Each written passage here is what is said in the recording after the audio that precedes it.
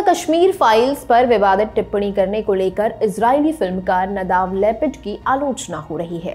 28 नवंबर को लेपिड ने इस फ़िल्म को प्रोपेगेंडा और अश्लील मूवी कहा। उनके बयान का वीडियो सोशल मीडिया पर खूब वायरल हुआ।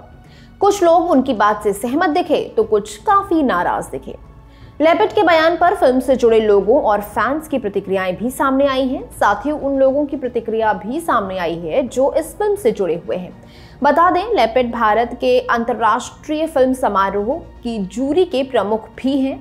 उनके बयान को लेकर फ़िल्म मेकर अशोक पंडित ने ट्वीट किया। आईएफएफआई के जूरी प्रमुख के रूप में लेपिड का चयन आईएनबी मंत्रालय की ओर से एक बड़ी चूक है। इसलिए मंत्रालय में जो लोग इस अपराध के लिए जिम्मेदार हैं, उनके प्रमुखों को सजा मिलनी चाहिए। फिलिस्तीन के हमदर्द से कोई क्या उम्मीद कर सकता है? एक अन्य ट्वीट में अशोक पंडित ने लिखा लेपिड द्वारा कश्मीर फाइल्स के लिए इस्तेमाल की गई भाषा पर मुझे कड़ी आपत्ति है। तीन लाख कश्मीरी हिंदुओं के नरसंहार को चित्रित करने को अश्लील नहीं कहा जा सकता। मैं एक फ़िल्म निर्माता और एक कश्मीरी पंडित के तौर पर आतंकवाद के पीड़ितों के प्रति इस बेशर्म कृत्य की निंदा करता हूँ।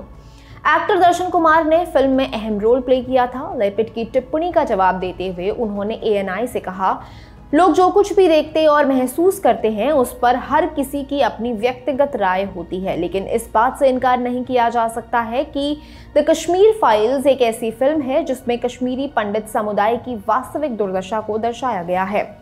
वो लोग अभी भी आतंकवाद की क्रूर करतूतों के खिलाफ न्याय के लिए लड़ रहे हैं। ये फ़िल्म अश्लीलता पर नहीं, बल्कि हकीकत पर आधारित है।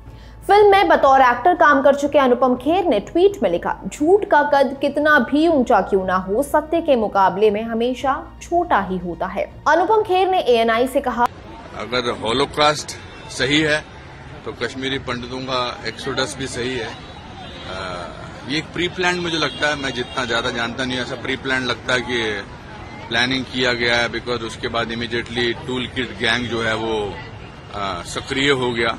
मामले पर स्वरा भास्कर ने ट्वीट किया, जिसका अर्थ लेपिट के बयान के समर्थन के रूप में निकाला जा रहा है। ये बात दुनिया के लिए बहुत साफ़ है। बता दें, द कश्मीर फाइल्स को इंडियन पेनोरामा सेक्शन के लिए चुना गया था और 22 नवंबर को इसे फ़िल्म फेस्टिवल में दिखाया गया था।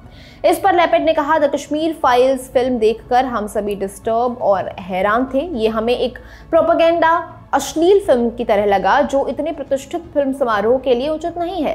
मैं आप लोगों के साथ इस असंतोष को खुले तौर पर साझा कर सकता हूँ, क्योंकि इस समारोह की आत्मा ही यही है कि हम यहाँ आलोचनाओं को स्वीकार करते हैं और उस पर चर्चा करते हैं।